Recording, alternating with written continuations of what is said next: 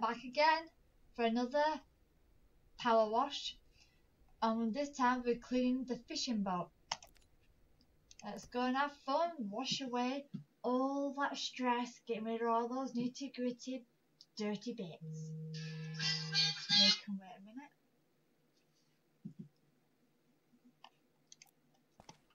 Let's get started.